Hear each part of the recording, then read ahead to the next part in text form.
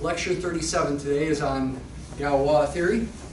And there was enough stuff that this morning I decided we would not have a quiz today, so it's going to be just one lecture. Um, maybe we'll try to take about a 30 second stretch break, but we probably won't stop the camera uh, in the middle sometime. Uh, it's going to be pretty tough, but I think it's I think it's going to be rewarding if you can really focus and pay attention. And uh, I will try to review group theory as we go. So this is kind of a little bit of a review of group theory because Galois theory is again all about applying group theory to field theory. So it'll be partially review. Lecture 38 on Friday will be a more broad review of other things. So fundamentals, a couple detailed examples, and the insolvability of a quintic. But before we do that, I was rummaging through some old photos last night, trying to find a photo of me with like my teens when I was younger. And I did find one, so I have to show you here.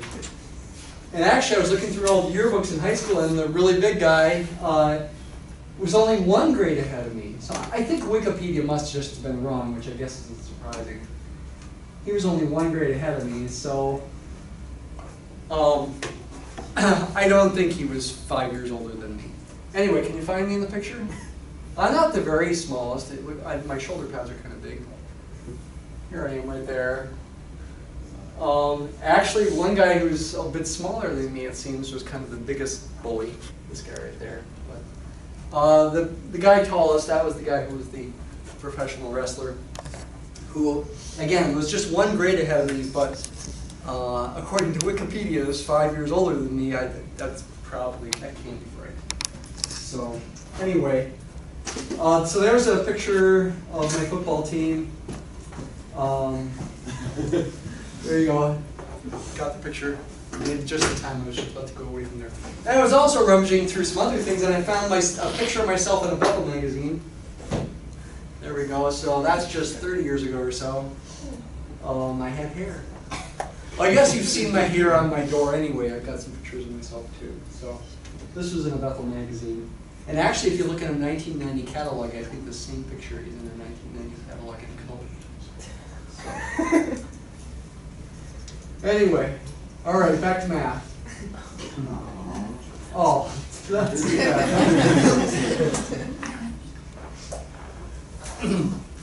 all right, so this first slide is some basic concepts, some basic definitions.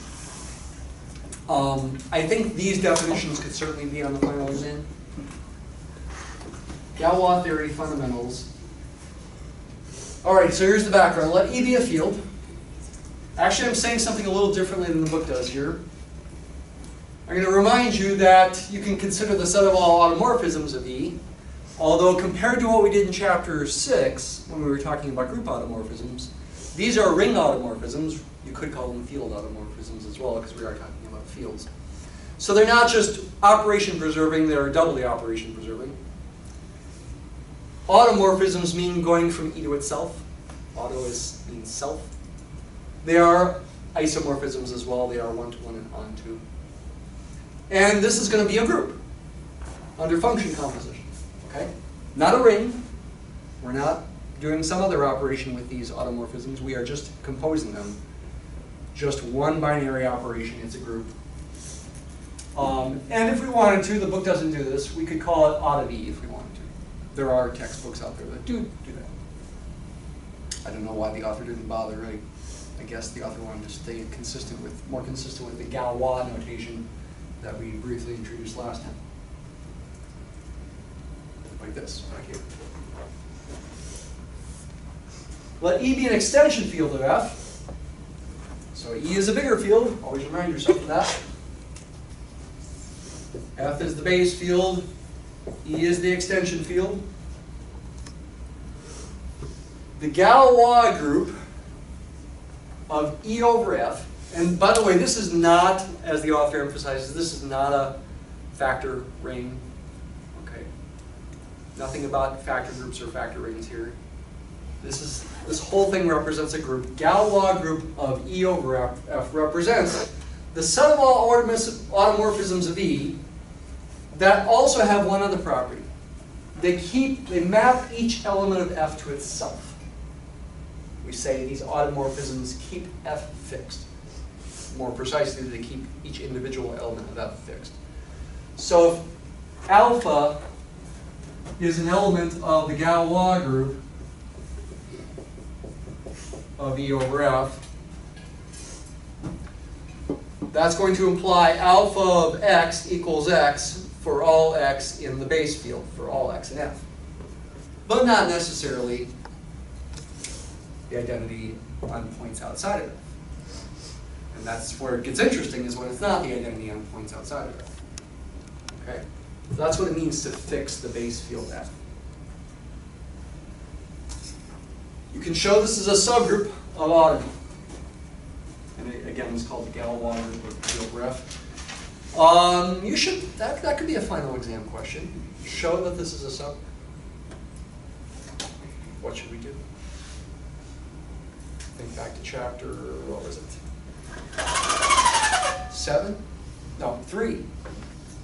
When we first defined subgroups, there was a one-step and two-step subgroup test. Think about it as far as a two-step subgroup test. Certainly the identity automorphism is in the Galois group. By that I mean the identity automorphism on E, mapping everything E to, from E to itself, therefore also mapping everything from F to itself. So this is certainly not empty.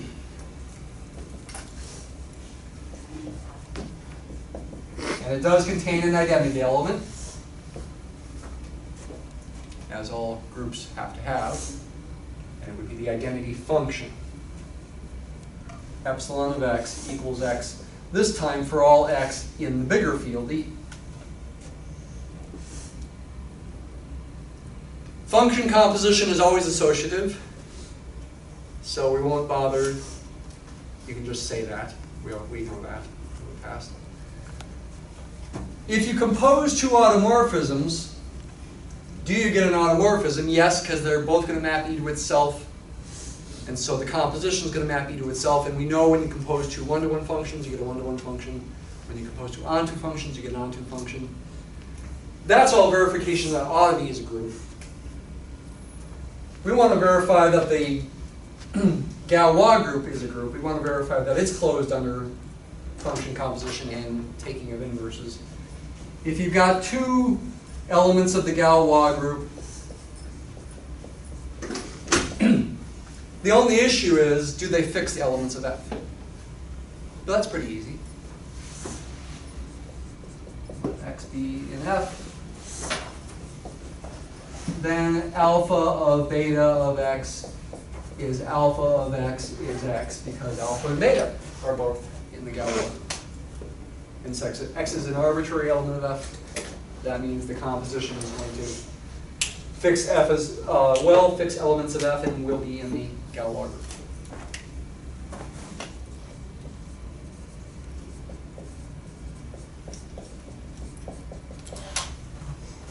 And it's closed under taking inverses. If alpha is in the Galois group, then alpha of x equals x for all x in F again. Give me an arbitrary x. How do you show that alpha inverse is in the Galois group? Well, apply alpha inverse to both sides of this equation.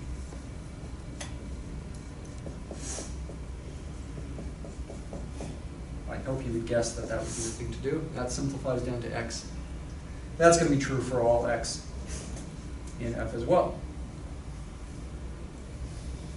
So by the two-step subgroup test, which really includes three steps because you showed the thing is not empty first, that would imply the Galois group is a subgroup of the group of automorphisms. Any questions?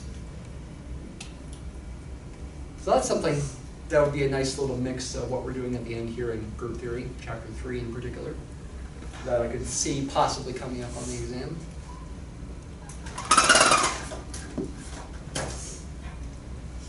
Here's an alternative notation you'll see in some textbooks. The Galois group of E over F, written as the group of automorphisms of E that fix F. You put the F down there. You'll see this in some textbooks.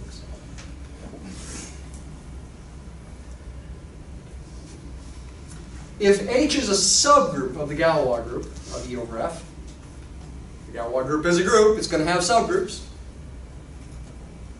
You can define something else called the fixed field of H, which is a field extension of F and a subfield of E by the following equation right there. EH, E sub H is the set of things in E that get fixed by everything in H.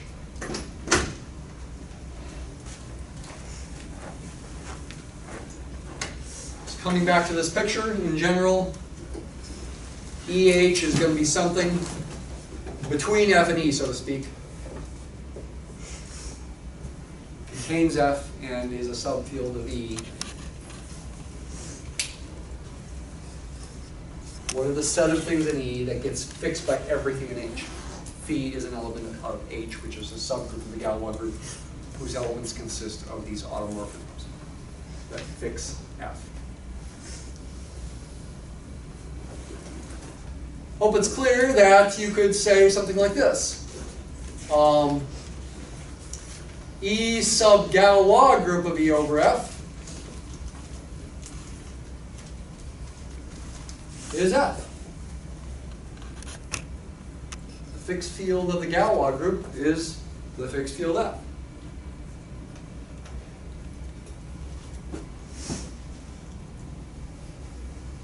Well, or at least F is contained in it. Maybe it's not completely obvious that they're equal.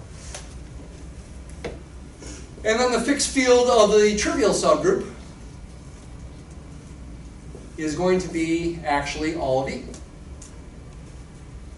Epsilon, the identity function, mapping everything in E to itself, is going to fix E. So you could write that kind of equation. And then you have things between these two extremes. All right, now we're on to our main examples, which is the main thing we want to do is we want to illustrate these ideas with two in-depth examples. These examples are taken from your textbook. It was a process of me trying to make sure I understood the examples and then can communicate them to you. And there are a fair number of things I want to mention that are not mentioned in the book and will definitely be worth taking um, note of. Here's the first example. And I'm going to motivate this example with a question. A question that may seem like it could be difficult at first. What are all the subfields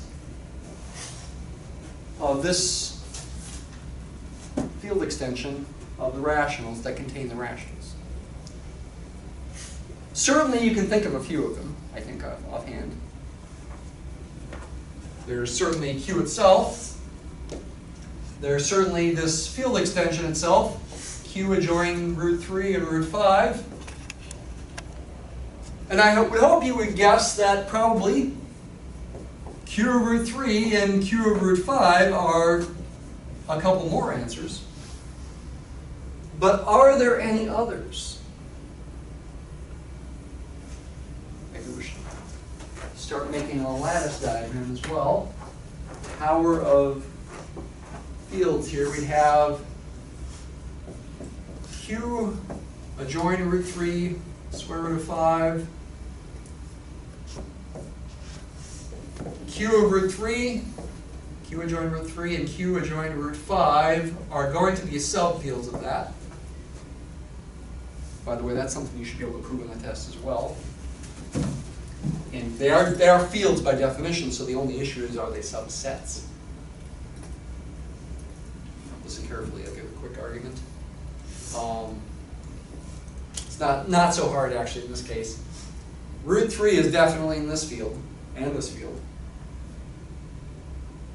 Pretty much done. This by definition is the smallest field extension, a small subfield of the complex numbers, say, or the real numbers, containing both Q and root 3. Therefore, this has got to be a subset of that. That's what this notation means. This is the smallest subfield of, say, the reals, containing both the rationals and root 3, by definition is the smallest, then it's got to be a subset of this field. So that kind of proof falls out basically by, de by definition. But you have to know that definition. You have to be able to use those words. Then we've got Q itself down here. Is there anything else? Maybe a couple other things. The fundamental theorem of Galois theory is going to provide the answer.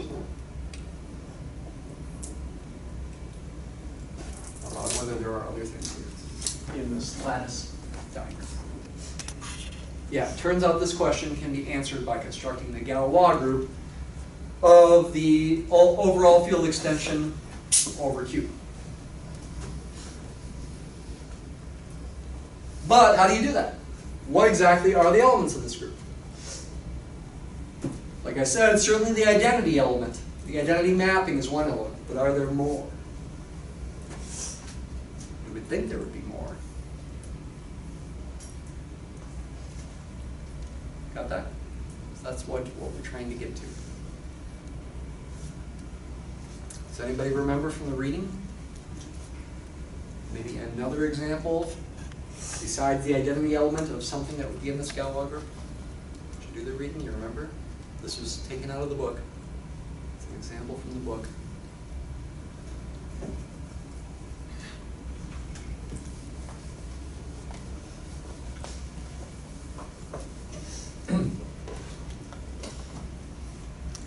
A mapping that maps root 3, for example, to maybe negative root 3? Remember reading about that? And there's also the question of what it would do to the other elements as well, which the book, this is something the book kind of skirts over. What does it do to the other elements? And sort of assumes you can tell. But I think it's not necessarily so clear when you're first trying to study this stuff. Here's the second slide for this example. And to do it, we're going to uh, require a fundamental fact that you should know for the exam. Okay. Let E be an extension field of the rationals. Then it turns out you can prove that any automorphism of E acts as the identity or fixes Q. Any automorphism. In other words, the Galois group of E over Q is the same as Aut E.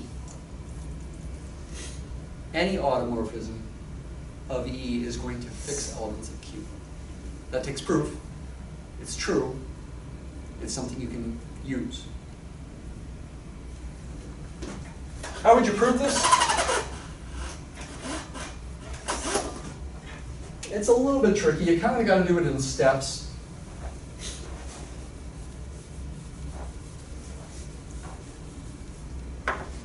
So you got a field extension of the rationals. You've got, say, phi, an automorphism of E. The goal would be to show that essentially phi is in the Galois group of E over Q. In other words, it fixes elements of Q, i.e. phi of x equals x for all x in Q. And you kind of got to show this in stages. Um, the first stage would consist of verifying that phi fixes all integers. Give me an arbitrary integer n. Verify phi fixes n. You've got to use the properties of ring homomorphisms. Now there's kind of two ways you could go here with an arbitrary n here that's taken to be an integer.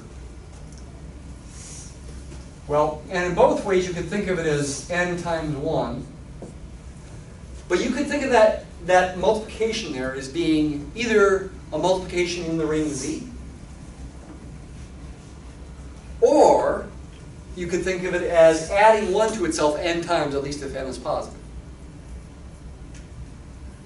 And because of that, you could think of this either as phi of n times phi of 1, or n times phi of 1. Both are valid when you're working over the integers. This one is valid because phi is doubly operation preserving and preserves multiplication of integers. And this one is valid because phi is a group homomorphism under addition. Thinking of n times 1 as being 1 added to itself n times. You can factor out the n. You get phi of 1 added to itself n times at least if n is positive. This is true even when n is negative though, too, turns out. So you can think of it either way. So evidently, phi of n must equal n, and that's, that's the conclusion here. You can conclude it either way. You also know phi of 1 is, is 1. Ring homomorphisms on fields are going to map 0 to 0 and, and 1 to 1 as well. Okay, so you can think of it either way. But either way, you get the conclusion that phi of n is n.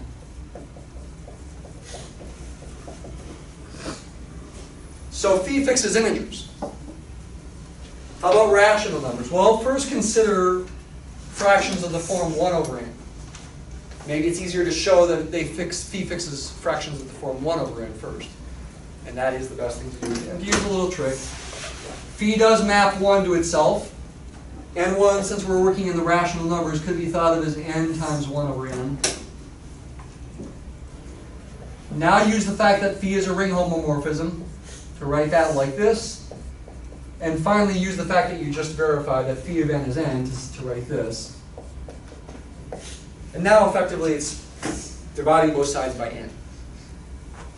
This is going to imply that phi of 1 over n equals 1 over n. I'm assuming n is not 0 here. Finally, for an arbitrary rational number, say m over n, write it as m times 1 over n, and use the fact that phi is a ring homomorphism, so it preserves multiplication, and use the facts you've already proved. Like that. Okay? So this is a level of a proof I could imagine coming up in the final exam as well. I actually did not start writing the final yesterday. I haven't written it yet. I'm going to start writing it. Probably I'll start today and finish it tomorrow. But I still have some keys to work on for you guys too, so we can keep mixing those things together. Okay, so that's an important fact that you should know is true. It's number one, exercise number one in chapter 32. It's going to be one of the ones I assign uh, for completion from chapter 32. I'm not going to assign a ton of problems from chapter 32, but a few of them at least. Though you're currently working still on 21 and 22 here very soon. There won't be many from 32, just to get, just enough to get a little feel. Why? We just essentially verified it. Back to the example, we're going to use this fundamental fact here for the example. How will an element of this group act on root 3 and root 5? Is a question we might want to answer to help us figure out this Galois group. Okay, continuing to use properties of ring homomorphisms. And some tricks. We know 3, for example, will equal phi of 3 for an arbitrary element of this Galois group because arbitrary elements of the Galois group fix the rationals and therefore they fix integers. How am I going to bring root 3 into play? I know 3 is root 3 squared.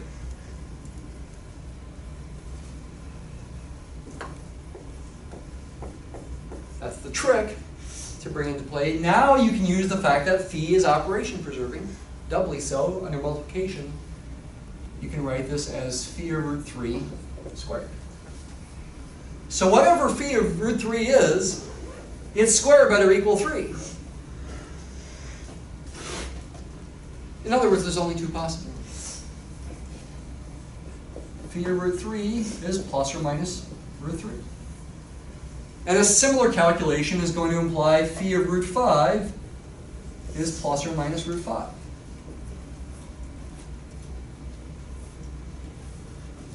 That greatly limits what can happen, right?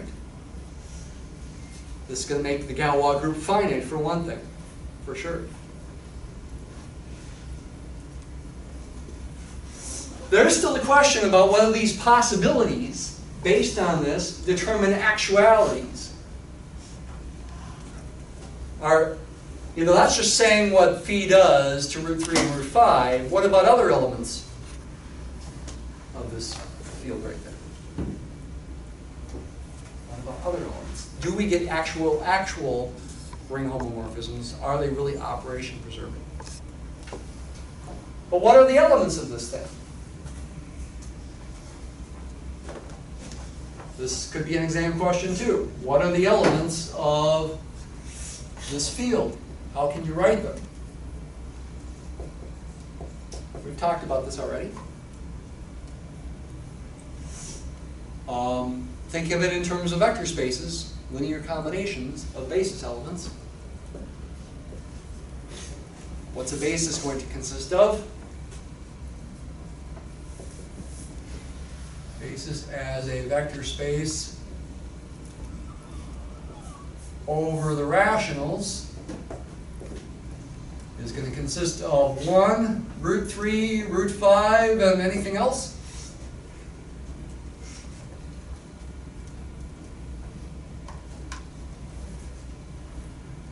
Root fifteen. Root 15, yeah. Multiply those two elements.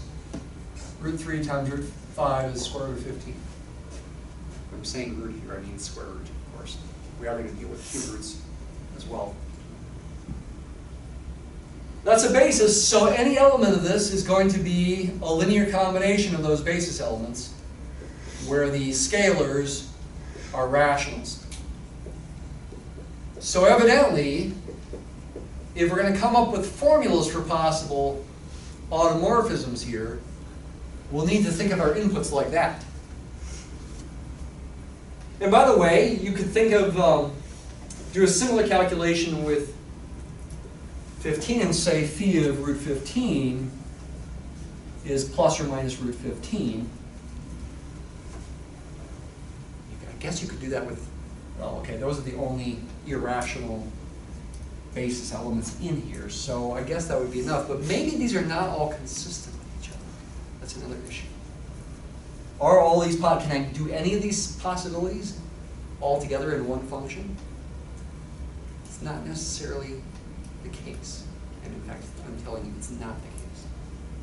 You can't do arbitrary combinations of these plus or minuses for these different things and get a definite automorphism of this. We'll see that in a minute. Actually, we can see it right now because we could write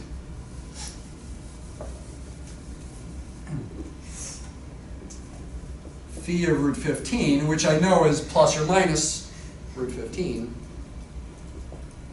is going to be the same as phi of root 3 times root 5, which by the fact that phi is operation preserving is phi of root 3 times phi of root 5. So if I pick values for phi of root 3 and phi of root 5, phi of root 15 is determined. It can't be just either plus or minus root 15. If both, if both of these are positive, if this is positive root 3 and this is positive root 5, this will be positive root 15. If both of them are negative, if this one's negative root 3 and this one's negative root 5, this will be positive root 15.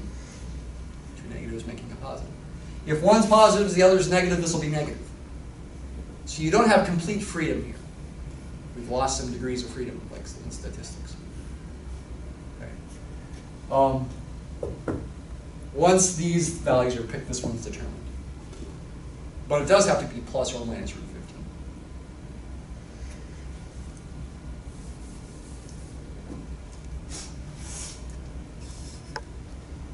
But what would the general formulas be, and are they really automorphisms, and are there no others? All right, we're going to use Mathematica here now.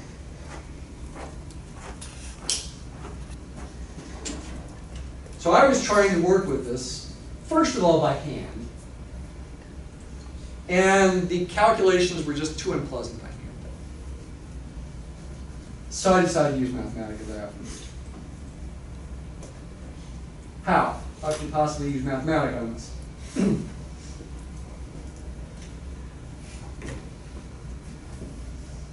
Take a little look at what we've got here. I claim that that is an example of an automorphism in the Galois group in terms of its formula, based on the way we write elements of this field as linear combinations of the basis elements. What's this one going to do? It's going to map root 3 to negative root 3, and any rational coefficient just gets carried along for the ride, and it's going to map root 5 to positive root 5. And because it maps this one to negative and this one to positive, it's got to map root 15 to negative root 15. Again, the A, B, C, and D just get carried along for the ride. I want to verify that this is operation preserving. Both under addition and multiplication, I want to verify these two properties. Especially with this one, if you look at that, it would not be too pleasant to do by hand. And when I was trying to do it by hand, it was definitely not very pleasant. What can I use Mathematica for to do this? So here I have code that will verify the, the equality of these things. This one's for the sum. Alpha of the sum, this code is going to um, compute this thing, alpha of the sum. In this code, sum of alphas is going to compute this thing, sum of alphas. How? Well, essentially, I'm just adding these elements as linear combinations. You see I'm adding them there. And at the end, to essentially perform the mapping, I'm replacing root 3 with negative root 3 and replacing root 15 with negative root 15. That slash dot operation is essentially what does, does the mapping, alpha. I get this. And here, I'm just expanding this sum, and I already have the negative signs in there. I already applied alpha there. And you do get the same thing. Double check, you get the same thing. These do match up. The sum's not too hard to do. The product is a bit more painful, especially by hand. Here's alpha of the product. So the only distinction here between what I did up there and down here is I have a times there. But it is a lot messier in the output.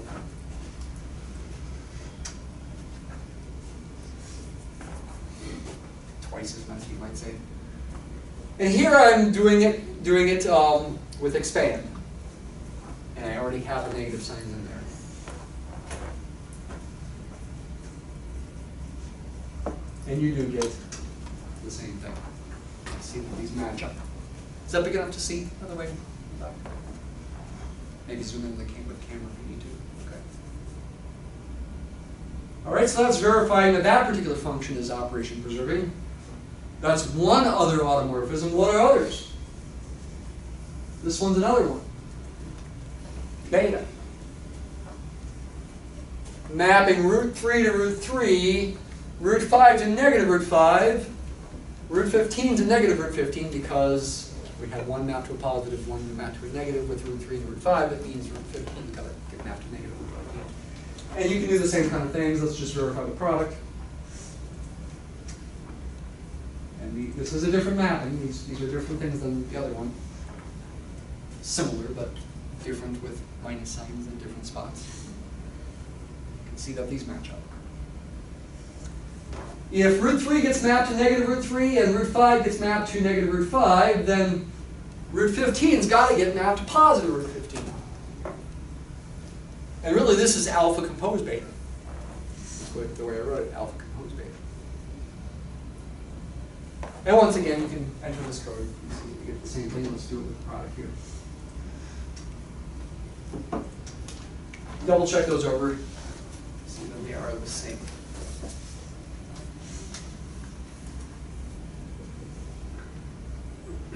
This thing down here, which I call gamma, that's a gamma there, right there. That's not, not, not, not an automorphism. Even though root 3 is getting mapped to negative root 3, root 5 is getting mapped to negative root 5, which are possibilities, and root 15 is getting mapped to negative root 15.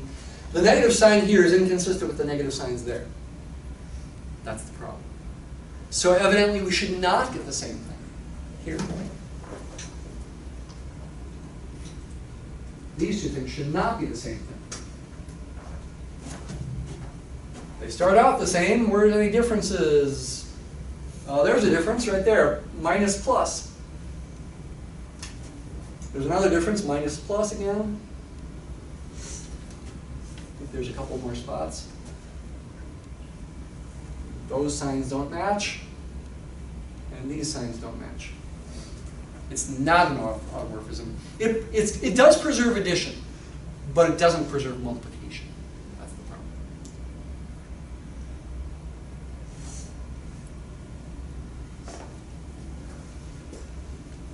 And essentially, because of the condition on, on conditions on root 3, root 5, and root 15, we have found all the automorphisms. We've found the Galois group. The Galois group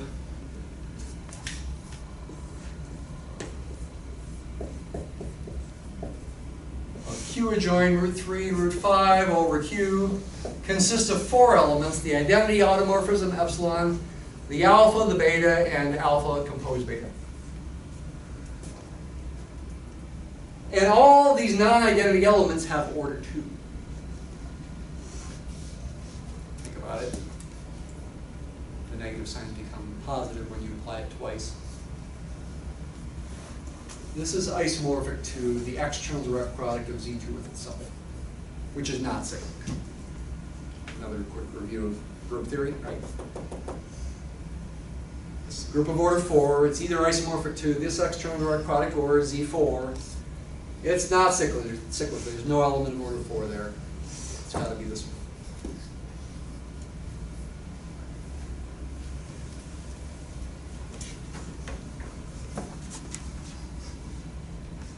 Okay. By the way, if you came in late, there is no quiz today so much to do. Let's take our 30 second stretch break. You also missed pictures of me when I was young. You came in late. Me and my football team. Let's it to 30 seconds please. So you'll probably want to watch the beginning so you can see the pictures of me.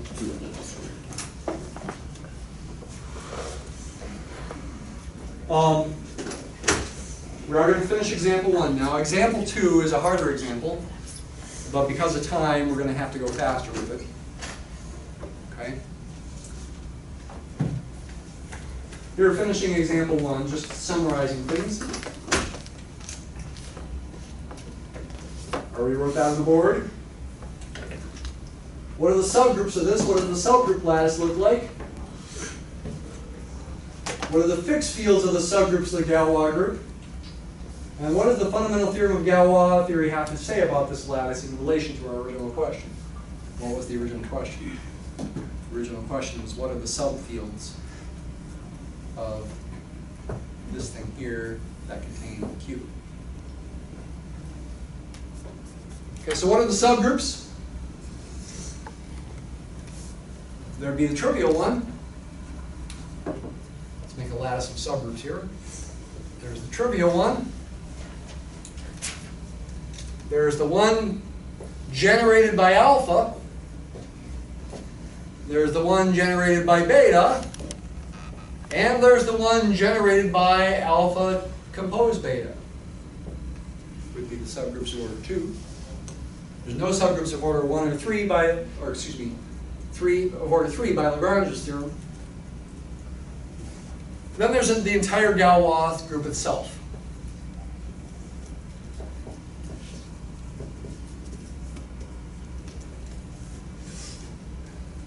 The lattice of subgroups of the Galois group, it's a, it's a uh, something that follows from the fundamental theorem of Galois theory is that the lattice of subgroups for your Galois group is the same as the lattice of subfields, except sort of turned upside down.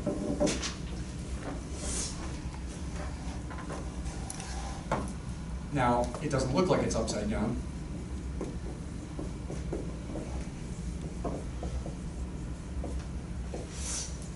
Uh, what do I mean when I say it's upside down?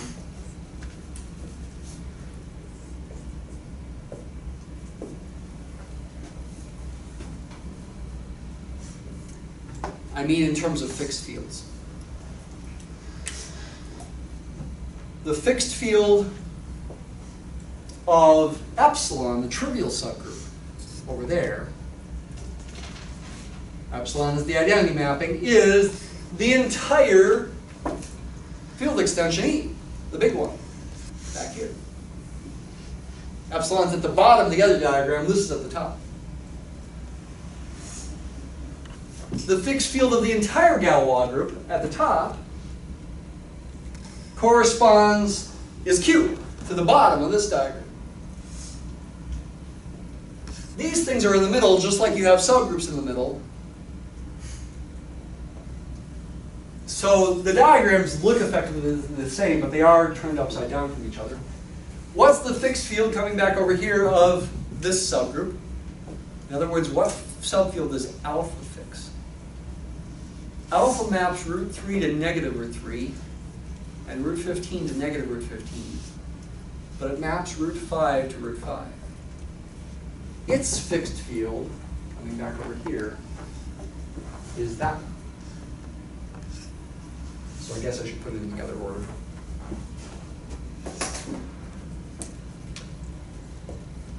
Its field, fixed field is that.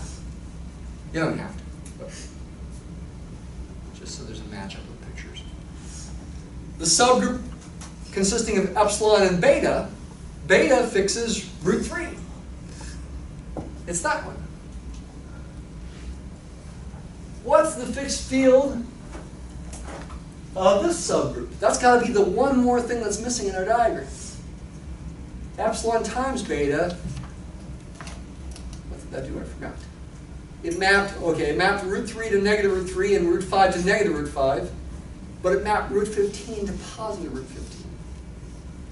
And that is a field that we're missing. Q adjoin root 15, and it's the only subfield of this that extends this that we are missing from this diagram. Come back over here. In this diagram, these twos that I'm writing on here represent the index of the given subgroup as a subgroup of the subgroup directly above it. Epsilon has index 2 in each of these, two cosets in the factor group. And these things have index 2 in the whole group. Or think of it in terms of Lagrange's theorem. The order of this is 4, the order of this, for example, is 2, 4 divided by 2 is 2. These are indices of these subgroups in the group directly above it. Number of left cosets, size of the factor. Coming back over here, I could also put twos by these lines. What did those numbers represent in towers of fields, these diagrams? Those didn't represent indices, but they're represented with something with similar notation, with a colon and square brackets. Call it the degree. The degree of this over this is 2.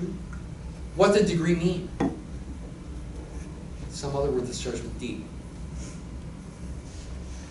DI. Dimension. Dimension of this is a vector space over that. You got a basis of two elements. And you can multiply the numbers along here to get the dimension of this over this. 2 times 2 is 4. We had a basis of 4 elements overall. So the fundamental theorem of Galois theory makes this connection. It makes, makes it so you know this is the entire lattice diagram of the fields. Tower it's sometimes called. All right, so yeah, example two is, is harder and um, longer definitely, so we must go faster here, unfortunately.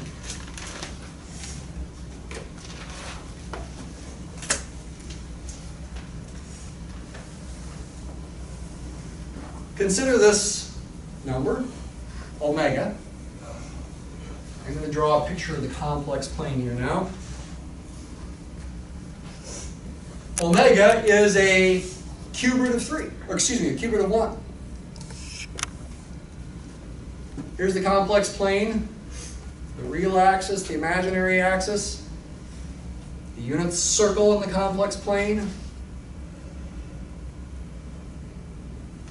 and that's a circle. Radius 1 centered at the origin. This one really represents I, right there. But it is one unit away from the origin, so we would typically label it with a 1 ordinary diagram. This is negative 1, this is negative i here. omega, negative 1 half plus root 3 over 2i is right about here. That's omega. This angle right there is 120 degrees.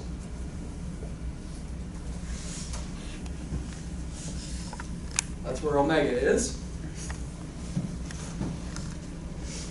It's called a primitive cube root of unity. Don't worry about what that means.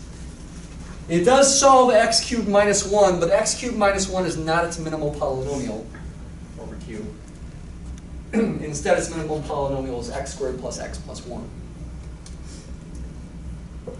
You multiply x minus this omega right there times x minus its complex conjugate. There's the negative sign there. You're going to get a real polynomial of degree 2 that's going to have this thing as a root and also its complex conjugate as a root.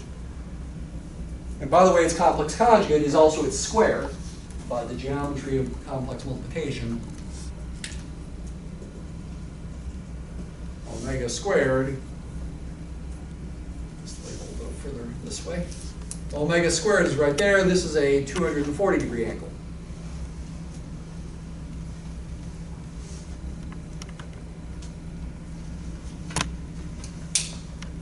And this is also the minimal polynomial for omega squared, which is also the complex conjugate of omega. Q adjoin omega then is the splitting field for this f of x over q and has this um, splitting field has degree 2 over q. It would have 1 and omega as a basis for this set as a writing the elements as unique linear combinations of 1 and omega, a plus b times omega. Next, consider another number that's a cube root of 2. In fact, a real cube root of 2. I'm emphasizing that it's a real. You know, that would be about 1 point, I don't know, 2 something. It's got a minimal polynomial, x cubed minus 2 both over q and over q adjoin omega, that could be considered the minimal polynomial for either one. I'm going to consider it to be with coefficients in q omega. Of course, these coefficients are in integers, but that means they're also rationals, and it means they're also in this set, so I can think of it as being over that field. Now I'm going to adjoin both of these things. Consider this thing. Q adjoin omega, then join the real cube root of 2 to get this, this thing right there, which, by the way, would be a simple field extension. You would be able to find some element such as this equals q of a, that other element, but we will not be finding that. That's a splitting field for g of x over q omega, and the index is, or the degree is 3. And therefore, overall, the degree of the biggest extension here over the rationals is 3 times 2 is 6. And we can start to make a, a lattice diagram here. Tower of fields. What's going on here.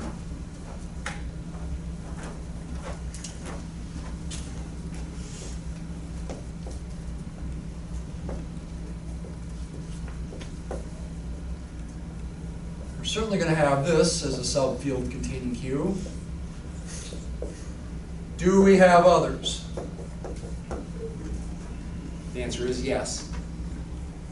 This is degree 3, this is degree 2, and so overall you have degree 6. 3 times 2. What are we after? We're after the Galois group of this field over Q.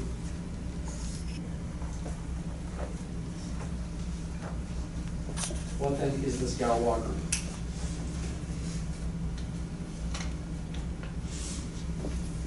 Certainly it's got the identity, epsilon.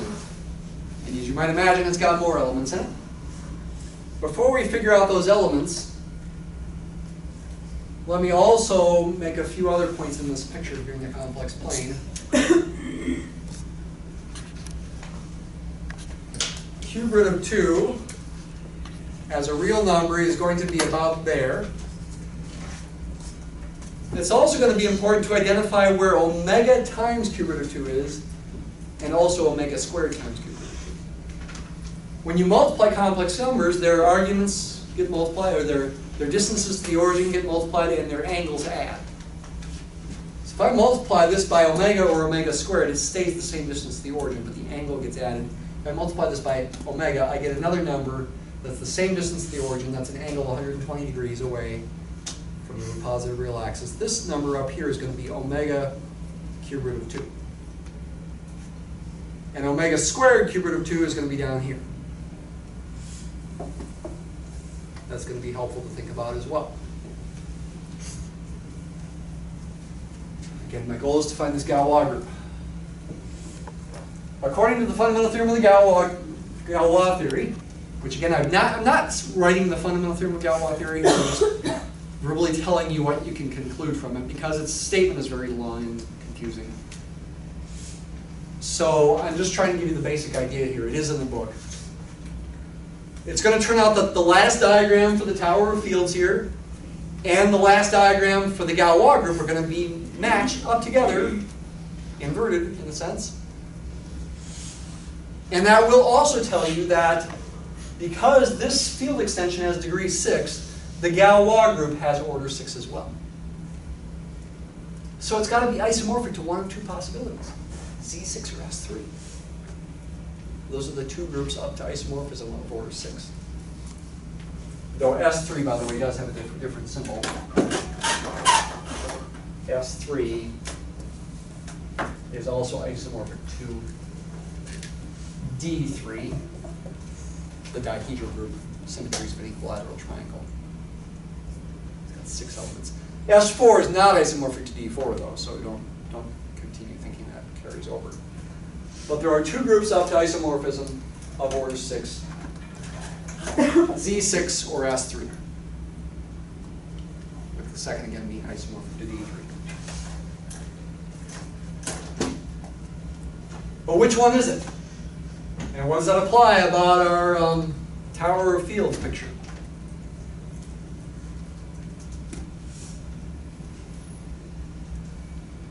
To determine the answer, it's important to note the following facts. First fact, since omega cubed and uh, equals 1, and also omega squared plus omega plus 1 is 0, the minimal polynomial for omega was f of x equals x squared plus x plus 1. It also follows that omega squared satisfies that minimal polynomial, which we already knew actually, but you can verify it without using the fact that it equals negative 1 half minus root 3 over 2i. Use facts about omega. Omega squared squared is omega to the fourth, which is omega times omega cubed, but omega cubed is 1. This simplifies to 0 as well. And by the way, omega squared cubed would also equal 1 just like omega cubed is 0. In other words, omega squared is also 0. We already knew that actually, but I'm just sort of thinking about it differently. It's also helpful to note that since omega cubed is 1, those other three dots that I made, cube root of 2, omega cube root of 2, and omega squared cube root of 2, all satisfy g of x. They're zeros of g of x. They are all cube roots of 2. 2's over here. And that makes sense geometrically too. I mean, you cube, cube root of 2, you're going to get 2. You cube these things, the angles add and the, the distances to the origin multiply. The distance to the origin is the same as the distance to the origin of this thing. So when you multiply them, you, you multiply that distance times itself, you cube it, you got to get a distance of 2 for the cube of these things, and the angles have to add up to 360 degrees for the one that's 120, and 720 degrees for the one that's 240 degrees, which in either case brings you back to 2. These are all cube roots of 2.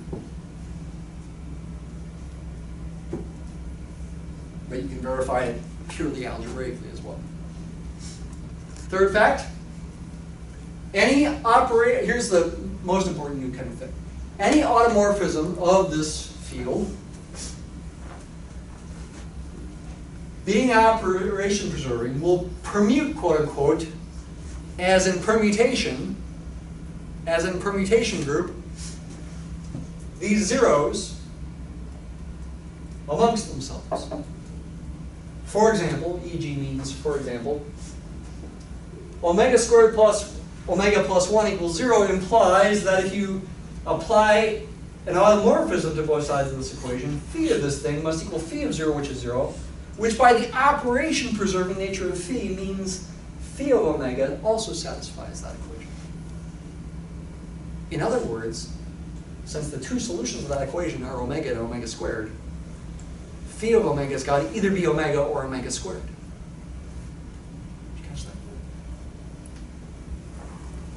This is stuff the book, again, kind of just doesn't really mention.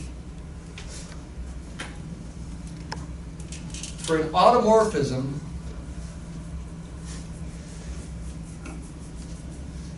an element of the Galois group,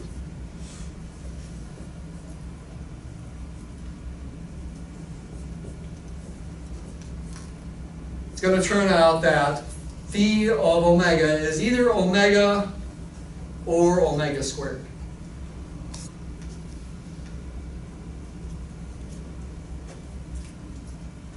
And phi of cube root of 2, it's going to turn out, is either cube root of 2 or omega cube root of 2 or omega squared cube root of 2. It's permuting those roots.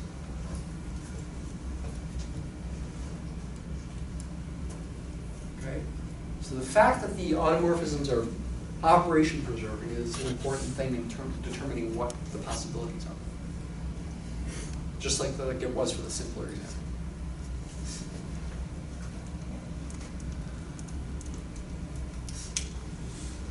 What about general formulas in terms of these um, this field as a vector space? Uh, a six-dimensional vector space, yikes, over the rationals. It's going to turn out if alpha maps omega to omega squared and cube root of 2 to cube root of 2, here is a formula for it. And it's kind of complicated. Okay? What did I do to figure out this formula?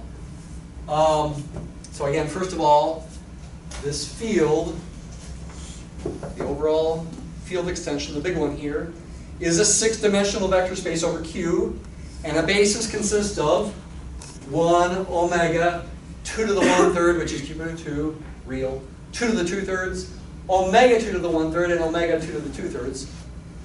You might be wondering where's omega squared in all this. You don't need it in the basis description. Um, where did I, how did I figure this out? I forgot. okay. Omega is getting mapped to omega squared, so this part, so to speak, is getting mapped to b times omega squared. But omega squared is negative omega minus 1, right? Because omega squared plus omega plus 1 is 0. So I could replace the omega squared that I get after I map this thing to b omega squared with negative omega minus 1. And that minus 1 is why I get a negative b there. This thing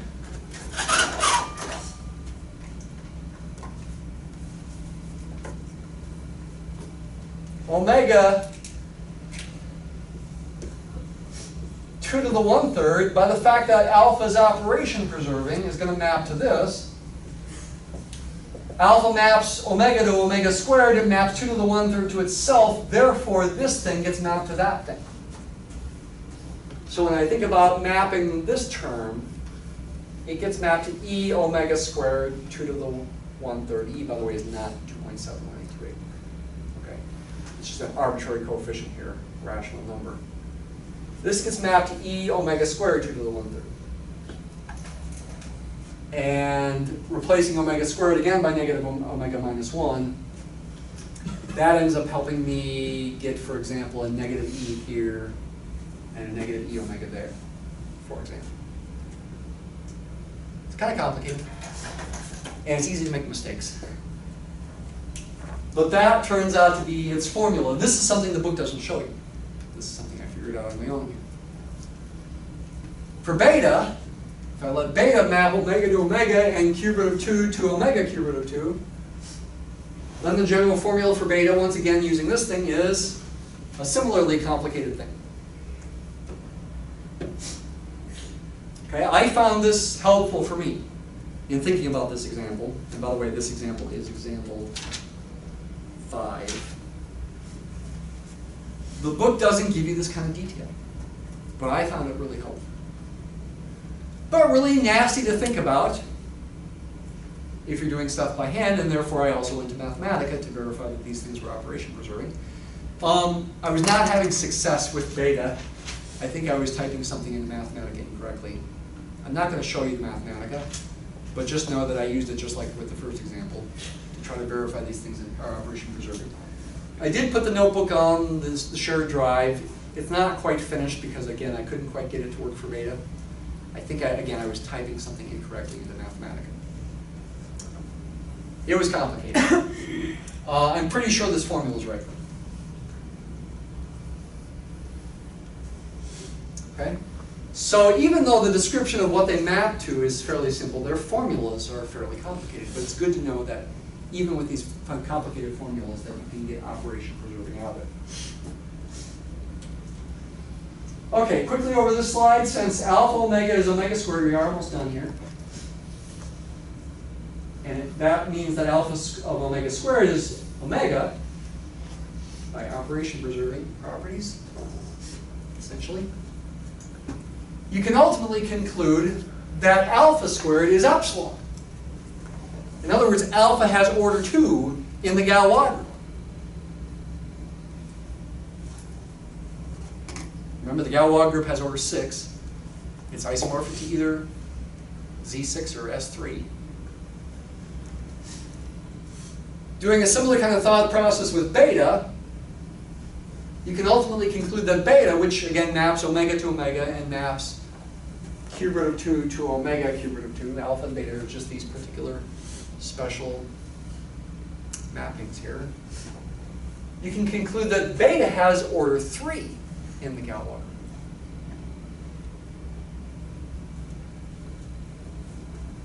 Also, for example,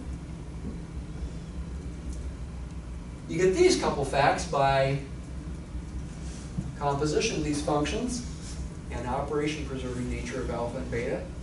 And this allows you to conclude that alpha composed beta is not equal to beta composed alpha. Our Galois group is not abelian. It's got to be isomorphic to S3. And it also turns out you can write the six elements in this way. Now I've got one more slide to show you. That's on kind of something that feels very different. But before I show you that slide, and I didn't really want to erase this picture, I want you to realize that alpha and beta can be thought of as permutations. Technically speaking, they are functions whose domains are fields. But in terms of what they do with these roots, they permute them. Alpha could be thought of as the two cycle omega omega squared composed with a cycle, or is it a three cycle? Cube root of two, oh, sorry, okay, no, it is a two cycle. Cube root of two gets mapped to itself under alpha. Omega cube root of two gets mapped to omega squared cube root of two. These are two two cycles, permutations in cycle notation. Not using numbers as the symbols that are being permuted, but these, these symbols, these roots, as being what, what are being permuted. In other words, alpha, alpha, I think is complex conjugation. It maps these things to themselves, omega to omega squared and back and forth.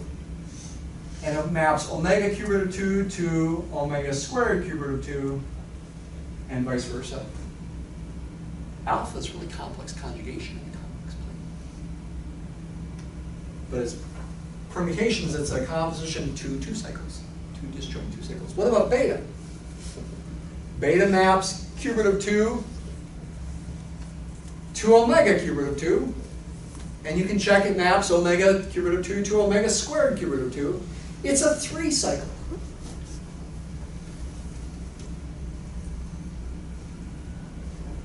and it maps omega to itself and omega squared to itself.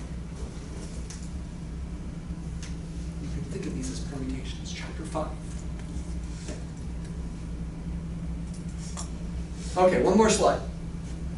This slide has a different feel to it. It's not examples. It's a slide about the big picture of what's going on here. By the way, I didn't finish the lattice over there, but your book has got a picture of it. Think about all the subgroups of S3, and you get the corresponding lattice diagram for the, the fields. This is about the purpose. What was Galois thinking in all of this? Galois was wanting to find an example, at least one example of a quintic not solvable by radicals. No formula involving square roots, cube roots, fourth roots, fifth roots, for the roots of this quintic. The book gives one example of such a polynomial, this quintic right here. 3x to the fifth minus 15x plus 15. And here's an outline of their argument that is not solvable by radicals. Okay, I don't expect you to understand this completely, okay? It's just giving you a basic idea. Turns out this is irreducible over Q by Eisenstein's criterion with P equal to um, 3 or 5. 5, yeah, I guess I can't divide the, the leading coefficient. Um, turns out this polynomial has three real zeros and two complex zeros that are complex conjugates. The splitting field for this quintic over Q is just Q adjoin these five roots, especially by definition. This degree is going to be 5 because this is fifth degree. This is a minimal polynomial for any one of these roots. I picked A1 there, but I could pick A2, A3, A4, or A5 there. The degree of this is going to be 5. The Lagrange's theorem implies then that the Galois group is divisible by 5. Lagrange's theorem as well as the fundamental theorem of Galois theory. It's matching up the lattice of fields with the lattice of groups in the Galois group. If you got an extension of order 5, you're going to have a subgroup of index 5 in the Galois group, meaning the Galois group is divisible by 5 in its order. Moreover, automorphisms of K permute the A's, just kind of, kind of like we were permuting these roots over here in this picture.